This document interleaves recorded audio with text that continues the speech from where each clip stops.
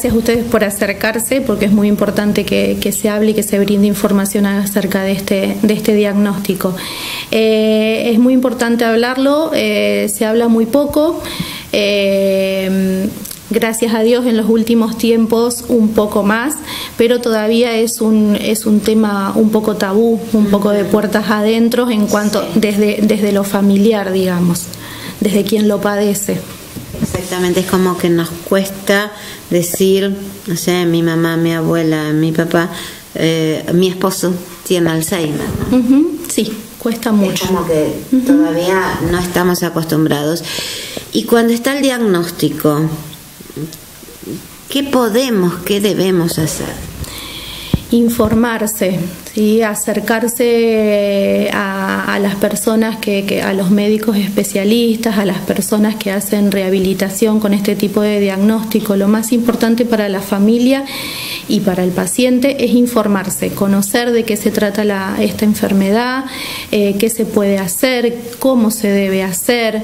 Em, estar, eh, yo siempre digo que cuanto más informado esté uno, más seguro y mejor puede hacer las cosas y eh, obviamente en beneficio del paciente y de la familia. Es una enfermedad que, no quiero decir la palabra ataca, pero que sí eh, compromete a toda la familia. Sí, sí. Por más que el diagnóstico sea de una persona, lo sufre toda la familia. Sí. Eh, y, bueno, ¿y cómo se puede trabajar desde tu profesión, desde terapeuta? Eh, a mí por lo general los pacientes me llegan derivados por, por el médico especialista, por el neurólogo especialista en demencias. Eh, ahí hacemos una evaluación, una evaluación neurocognitiva eh, para, para, ver con qué, eh, con qué vamos a trabajar, hasta dónde sí, cómo adaptar las actividades, qué, cuáles son las capacidades de ese paciente. Después se habla con la familia, ¿sí? para que nos haga un relato de todas las actividades de la vida diaria de esa persona. También exploramos los intereses de esas personas, porque yo obviamente por más que varios pacientes tengan el mismo diagnóstico, yo no puedo hacer las mismas actividades con los pacientes porque son personas diferentes y porque tienen intereses y una historia de vida diferente. Eh, los intereses y después empezar a establecer rutinas.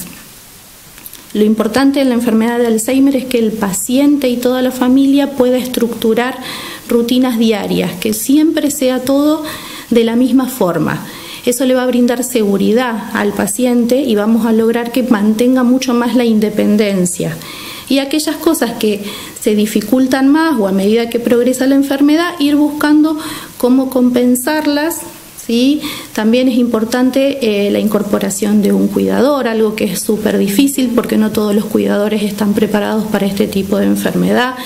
No es una enfermedad como cualquier otra que la familia también acepte eh, el ingreso de una persona extraña también es difícil, por eso yo siempre digo que es un trabajito de hormiga, sí, pero vale la pena. Una vez que uno logra armar la, la estructura, sí, desde lo familiar para el paciente, desde lo ambiental, porque de todo lo ambiental vos también necesitas darle seguridad al paciente, evitar riesgos.